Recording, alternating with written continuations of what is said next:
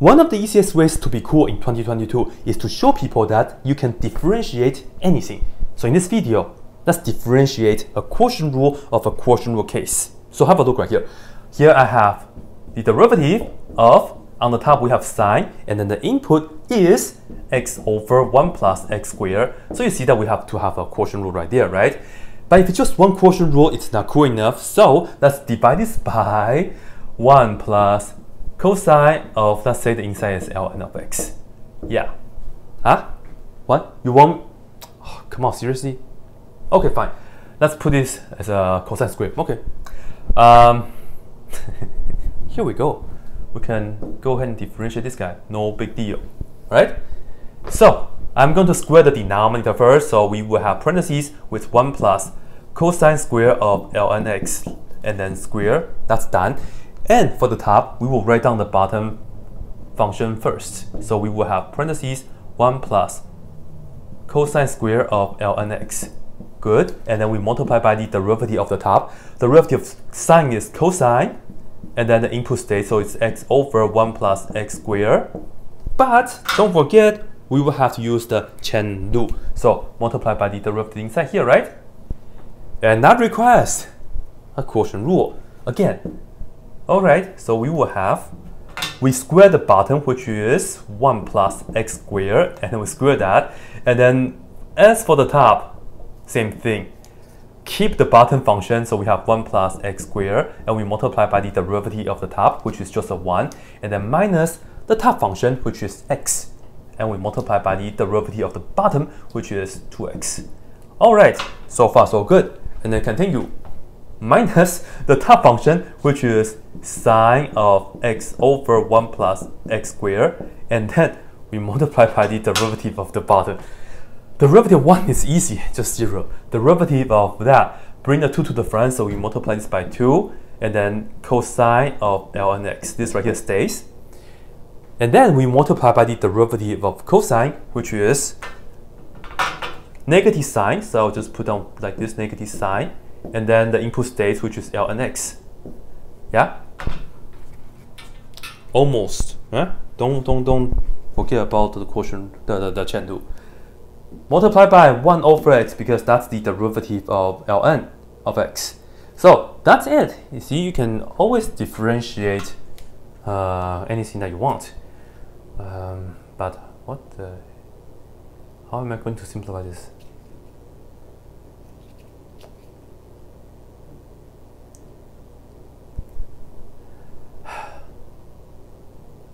Let's, let's simplify this uh, here on top, yeah? So at least we can make some progress. So this is 1 plus x squared and then minus 2x squared. So all in all, it's just 1 minus x squared. So we have this over that. Okay, that, that, that's something. And then I'm going to multiply the top and bottom by this guy. So this guy will be on the bottom as well. Cool. And then I will also multiply by the x. So just keep that in mind. So yeah, I think that's all I'm going to do. So here we go. We will have the following. And usually we like to put on polynomials first, so I will do that. And the first thing is I multiply the top and bottom by x. So we will have an x for this part. So let's write down an x. And then we see that we have this, which is 1 minus x squared. And then we have this and that. So we will just write down 1 plus cosine square of ln x and then cosine of x over 1 plus x squared. So far so good.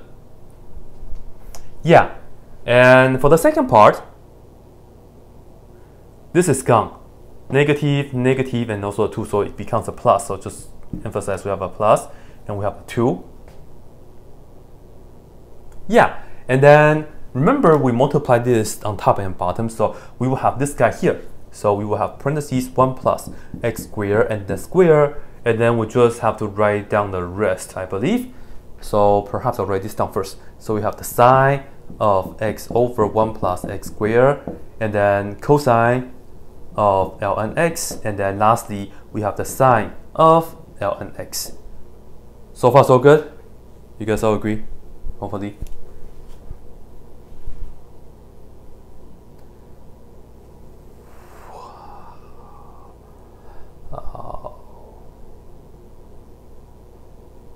Yeah. Okay. And ladies and gentlemen, all this divided by we multiply the x, so let's put the x down on the bottom. So put it down right here. And then we have that guy, which is 1 plus x squared, and then square. And we also have this, which is parentheses with 1 plus cosine square of ln x. Like that. See, derivatives would not upside you, right? You can always differentiate it. I know you guys are going to mention about the Weierstrass function, but you know, one day we'll try to differentiate it, even though it's not differentiable. We'll try, yeah? Anyway,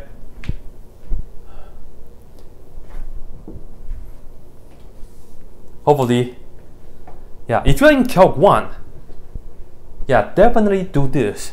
Show your teachers, your classmates what's up, okay? I hope I didn't make anything wrong. so what should we differentiate next? Leave a comment down below in the middle. That's it.